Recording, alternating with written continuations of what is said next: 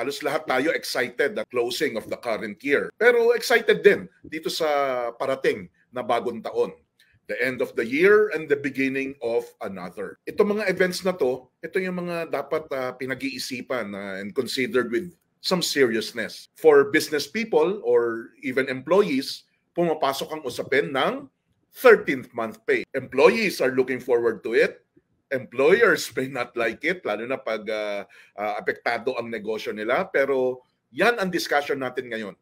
Our discussion tonight, 13th month pay, what to do with it. Walang guest kasi I want to give my own personal suggestions on what to do with your 13th month pay if you are one who is employed. 13th month pay. Yan. Ano ba yung 13th month pay? Alam niyo po yung 13th month pay, hiwalay o iba yan sa Christmas bonus. Yung 13th month pay, yan ay uh, ayon sa batas, basta ikaw ay empleyado, mandatory benefit po yan. Meaning, nakalagay pa sa batas na bawat employer, sa bawat empleyado niya, dapat nakakapagbigay ng 13th month pay. Equal yan sa 1/12th of your employee's basic annual salary or katumbas ng isang buwan na sahod. Ha? Nakalagay po yan sa batas. Hiwalay yan sa Christmas bonus, yung iba pang binibigay nung uh, generous, profitable uh, na mga kumpanya, employer. 13th month pay, ayon sa batas, dapat yan ay nabayaran na ng employer or nabigay na ng employer no later than December 24 of every year. Bawat empleyado na nakapagtrabaho at least 30 days or 1 month entitled po sa 13th month pay. Yung 13th month pay na 90,000 pesos pababa, exempted din po yan sa sa buwis, sa tax. Alam niyo naman ang buwis, basta may uh, perang pumasok, perang lumabas, may kalakip na buwis. Uh, bilang mamamayan, responsabling mamamayan ng bayan, bawat transaction sa pera, labas or pasok, may kahati ang pamahalaan ng Republika ng Pilipinas. Paano ba kinocompute yung 13th month pay? Ha? Ang inyong monthly basic salary times the number of months na nagtrabaho ka nitong taon na ito divided by 12, yon ang inyong 13th month pay. Okay? Yun ang inyong 13th month pay. Example, ayan, may example dyan sa slides natin. Yung example number one natin, yung empleyado, basic salary niya, 20,000 a month. Pero nag-umpisa siya dito sa kumpanya na to, September 2022. Oh, September 2022.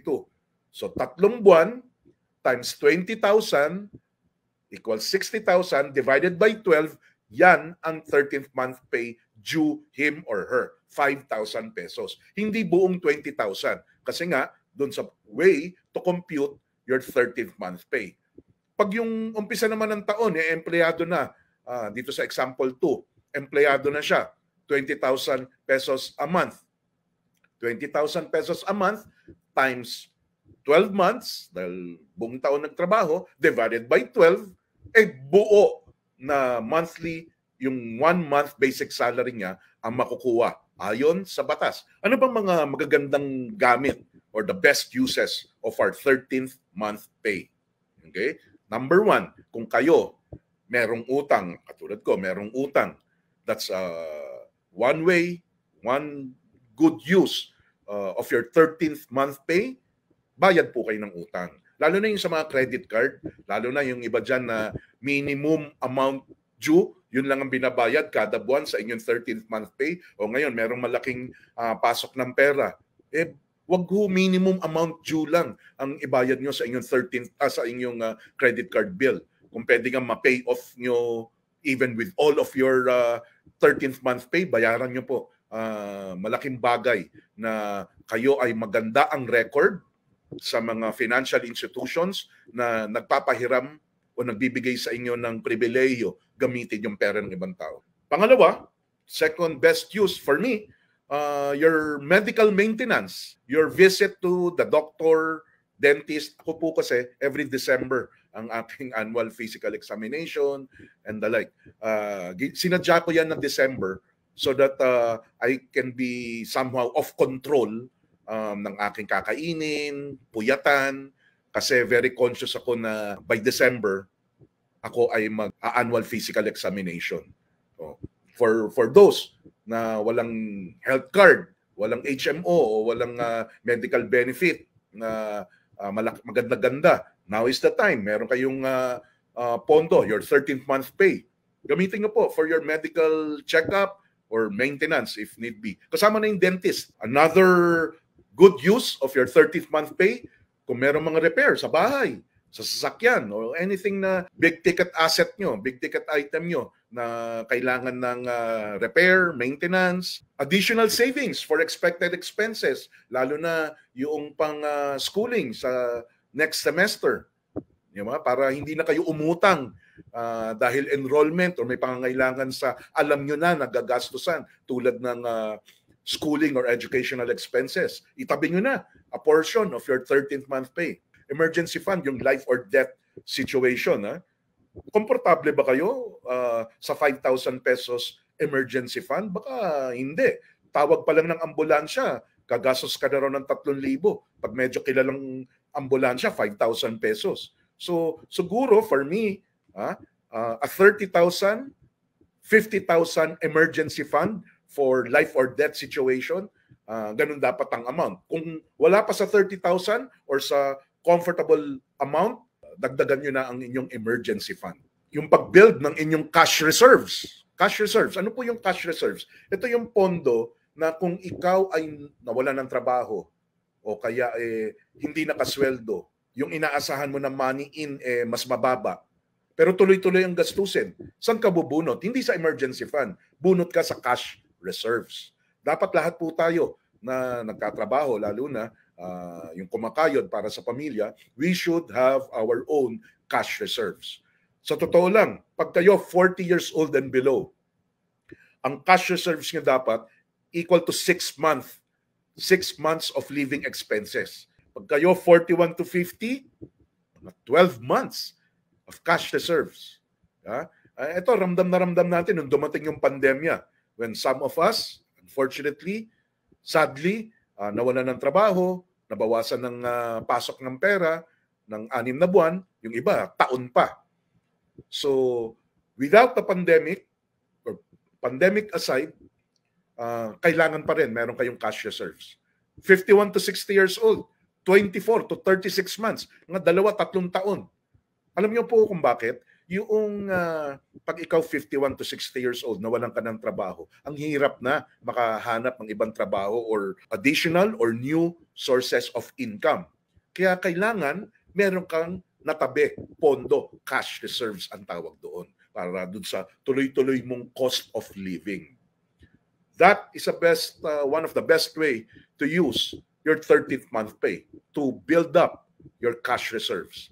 Again, don't let another pandemic, lockdown, strict quarantines para masabi o ma-realize nyo, dapat pala meron akong cash reserves. Christmas spending. Dati, akala natin, ayan, yan lang ang uh, uh, dahilan kung bakit may 13th month pay. Parang binibigyan tayo ng karapatan maglustay kapag uh, kapaskuhan dahil merong 13th month bonus. Hindi po bonus yon. Yang 13th month, katulad ng sinabi natin sa una, isa po yan sa mandatory benefits na binibigay ayon sa batas, binibigay sa lahat ng empleyado basta nakapagtrabaho ng at least one month.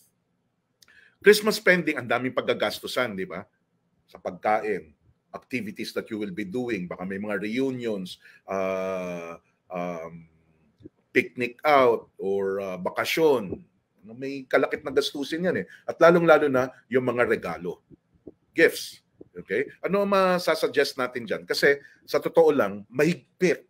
Uh, this is the strict uh, uh, uh, measurement. Gano'ng karami o gano'ng kalaki, how much of your 30th month pay can you spend for your Christmas spending? I strongly suggest 30% only. Maximum 30% of your 13th month pay for your Christmas spending. Kasi nga, ang dami ko nang pinakita, di ba? Na mga uh, pwedeng paggamitan ng inyong 13th month pay. 30% lang sana ng inyong 13th month pay para sa mga gastusin for the season like Christmas. Sa pagkain, Uh, potluck. Uso na lang, wag ano na lang hukay ng potluck. Tapos yung tradisyon nitong mga nakaraang dekada, mga nakikita ko, pag Pasko, ang daming handang pagkain, ang daming leftover, yung kung ano pa naman yung mga masasarap, mahal, uh, hindi nauubos, sayang, eh, ginastosan natin. Learn and practice. Uh, magagawa naman na ho natin yon Yung potluck system, pag kinari, lalo na kainan sa bahay, uh, pupunta, bibisita, reunions, ginagawa naman na natin yun eh. Uh, potluck. Basta ang importante, yung uh, spirit of Christmas. Mga activities, eh, limit nyo muna sa indoor. Kung sasabihin nyo, eh, dalawa, tat, dalawa tatlong taong nagpandemya. Kaya ngayon na uh, revenge travel, revenge shopping mga tao, hinay-hinay muna. Pinaraktis tayo nitong dalawang taon, 2021, 2020, na Pasko sa loob ng bahay. Subukan natin ulit, this 2022. Dito tayo sa indoor, sa loob ng bahay, and really enjoy and feel the spirit of the season. Sa mga regalo naman, naku, ang dami natin ma-advise dyan. O, dalawang dekada na tayo sa iba't ibang programa nag-a-advise. Unang-una, yung natutunan ko sa kabilang stasyon dahil radyo ng simbahang katoliko yon. Ang mga mariregalo natin, hindi lahat pinaggagastosan o may kinalaman sa pera. Tatlo raw ang ating pwedeng ibahagi. What we can share, truly share, our time, our talent, and our treasure treasure, may kinalaman sa pera, pero pag minsan, if you really think about it, lalo na yung mga older, elder members of our family, uh, na parang nasa kanila na ang lahat, naranasan na nila ang lahat, anong pwedeng iregalo sa kanila? Iisip tayo ng napakamahal na bagay? For all we know, it's only our time that they really, really want and will treasure and cherish. Tawagan nyo, batiin nyo, make a Christmas card with a uh, with your thoughts and feelings. Ilagay nyo sa likod ng Christmas card to your lola, to your uh, aging mother, father. Mga tukol sa regalo. Merong i-search nyo sa YouTube, White Elephant Gift Giving Game. Lagi kong ina-advise to. Kasi ito, tong White Elephant, ito yung uh, pag sa isang gathering, Pasko, lahat may uh, uh, dalang regalo. Biro nyo kung pupuntahan yung okasyon, uh, tatlo, apat, tapos eh, meron kang reregaluhan doon ng mga uh, apat, lima sa bawat okasyon na pupuntahan mo ngayong Kapaskuhan, get together, reunion. Biro mo 5 times 3, 15 na regalo ang iyong bibilin para sa tatlong okasyon. Umpisahan nyo na, sa, kayo na mag-umpisa doon sa grupo nyo. You do a white elephant uh, game. Now, you will just have to buy one gift for every gathering that you will go to and enjoy the company of your family and friends and go through that white elephant gift giving game. Hanapin nyo po sa YouTube. Napakasaya niyan. Ano pang pwedeng gawin sa 13th month pay nyo? Ayan, pwedeng maging part of your investable funds. Uh, ngayon po, uh, I'm very much involved dun sa isang insurance company, AIA Philippines, formerly Philam Life. Meron, meron silang isang bagong produkto, Income Assured 10 Imagine a fixed income instrument, 5% a year ang ibibigay. Eh, it's, it's being guaranteed by a company, AIA Philippines, dating Philam Life, one of the biggest, if not the biggest insurance company in the Philippines uh, and in Asia. Uh, sila po yung magbibigay 5%. Kung hindi man, yung mga iba pa rin nilang uh, mga produkto, mga insurance VULs. Mutual funds, shares of stock, REITs, real invest real real estate investment trust certificates yan. Mga kasi mga minimum amount diyan 5,000 10,000 pwede ka nang sumali diyan sa mga uh, investment pooled funds na yan.